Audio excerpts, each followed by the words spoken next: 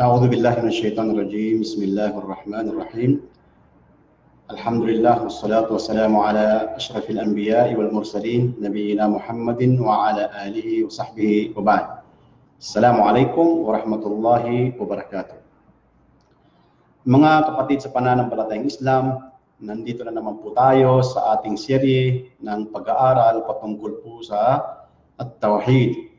So, nung nakaraang uh, lecture natin, ay uh, tinalakay po natin ang kahulugan, ma'na at-tawhid, ang kahulugan ng tawhid.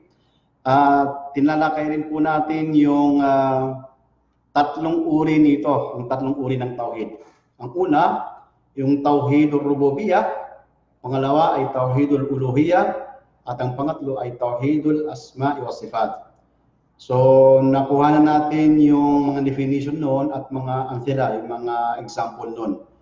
So ngayon, uh, inshallah ay uh, pagkaluban, ta, pagkaluban tayo ng uh, uh, oras nila ng Allah at uh, ating uh, ipagpapatuloy ang ating uh, lecture. No? Ang kukunin naman natin ngayon ay ang tatlong bunga o mahalagang bunga ng Tauhid. So meron siyang fawaid muhimma.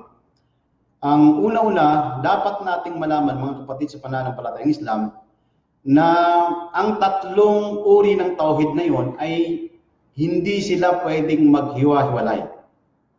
Okay?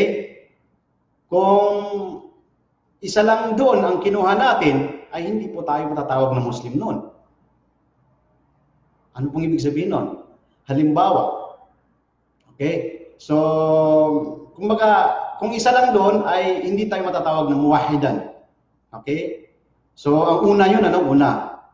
At ang ikalawa, dapat nating malaman, tingnan mo ha, kung bakit hindi po pwede, bakit hindi po pwede na isa lang ang pwede natin doon, yung tawhidul uh, rububiyya lang ibig sabihin. Ang paniniwala lamang na si Allah ang tagapaglikha, ang tagapanustos at tagapangasiwa, ang bumabawi ng buhay, ang bumubuhay sa atin, ang nagpapatubo ng mga pananim.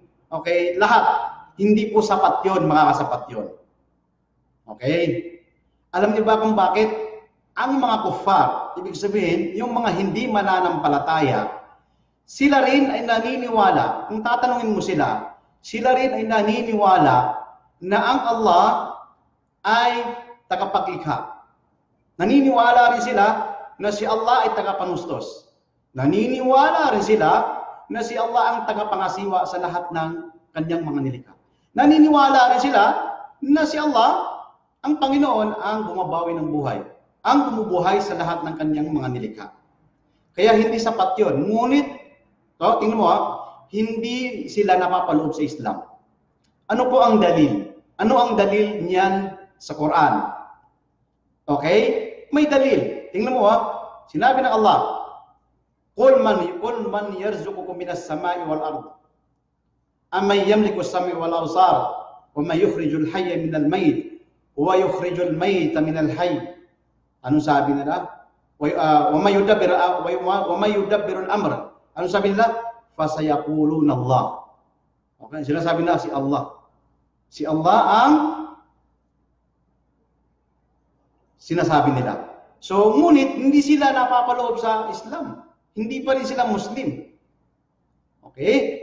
Kung kaya't napakahalaga, mga kapatid, na kailangan ay isama natin ang dalawang bahagi nito. Ang paniniwala sa pagsamba, pagka-Panginoon, pagka-Diyos ng Allah. Ibig sabihin, ay siya lamang ang ating sasambahin. Okay?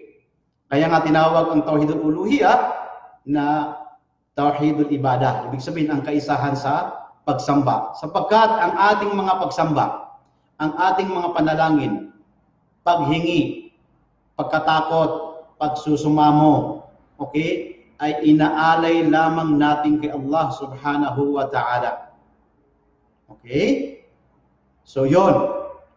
Ang uh, ikalawa, mga kapatid, na bunga, na mahalagang bunga ng tauhid ay uh, ito ang da'wa ng mga rasul. Ito ang ah, kumbaga, ang mga ipinadala sa atin ng mga propeta ay ito ang kanilang uh, dinadawa. Ibig sabihin, iniimbita. No? Ito ang kanilang invitation sa mga tao, sa mga kanilang mga nasasakupan. At ang Islam, ang ang ano na to, ang uh, ang uluhiya, ang tauhid nito ay uh, ito rin ang foundation ng lahat ng ating mga gawain. Okay? Gawaing ibada. Ibig sabihin, ang gawaing uh, pagsamba. At hindi matatanggap, uh, hindi matatanggap ang lahat ng ating mga pagdarasal kung hindi natin ito nakuha. Sapagkat ang kabaliktaran po nito, pag nagkulang po ito, no, ay shirk.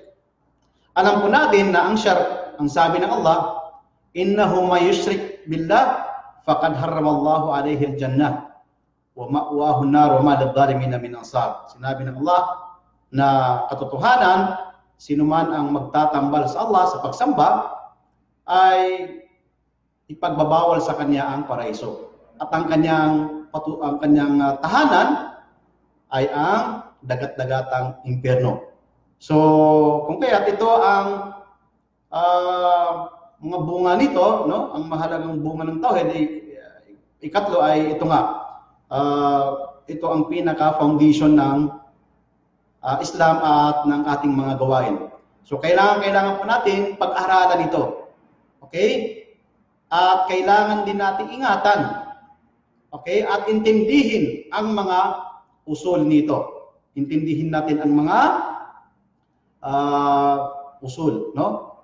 Foundation nito. So yung po mga kapatid, inshallah, sapagkat sa susunod, ang uh, mamayang hapon, inshallah, ka-apat ni Sergi ay ang pag-usapan po natin ay yung ahamiyatut tauhid wa fadluhu. Ibig sabihin ang kahalagahan ng tauhid at mga kahigtan nito. So ito ay pito, inshallah, mamayang hapon ay uh, pag-usapan din natin. Uh, wa sallallahu ala nabiyina Muhammad wa ala alihi wa sahbihi wasallam. Assalamualaikum warahmatullahi wabarakatuh.